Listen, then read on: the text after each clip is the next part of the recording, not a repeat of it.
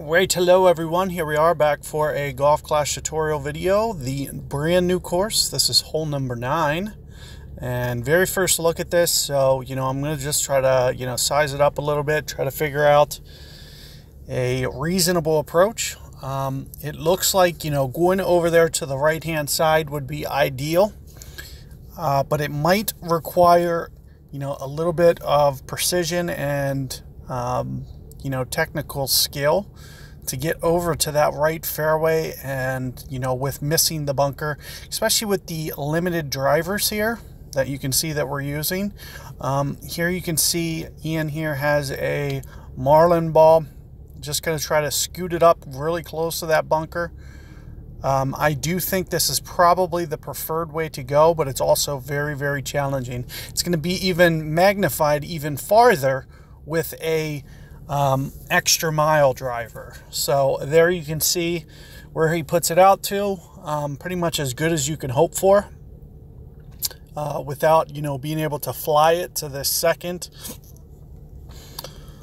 But what I'm going to do is, um, you know, as I stated, I, I do think that's probably the way.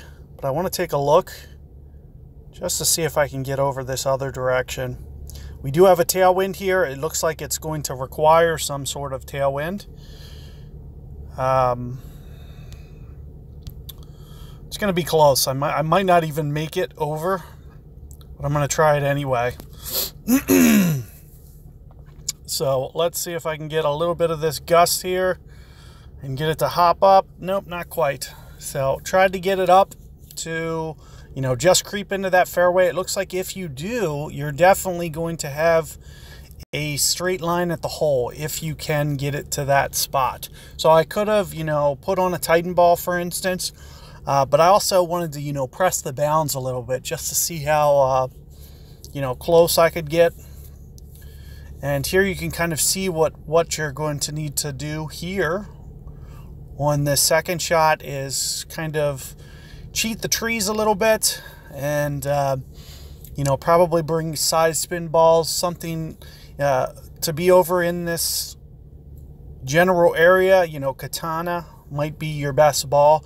Uh, usually for the par fives you'll try to you know save some of your better balls for the par fives um, to be able to give yourself a uh, you know, reasonable chance to not have to press too much. You could see that I had to go relatively full just to kind of get it up here uh, as far as I could.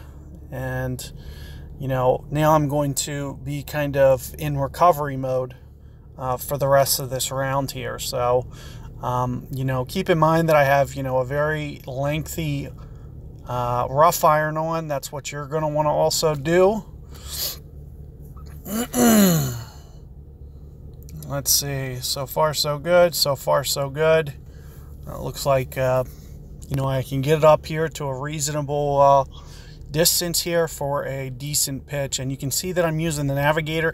I like to use that over the um, Quasar ball just for that little bit of extra wind resistance. With that extra wind resistance, um, you know, I feel a little bit more secure with being able to, uh, you know, keep the wind down in all situations, which you at times will need to do uh, in order to give yourself, you know, that hold out capability.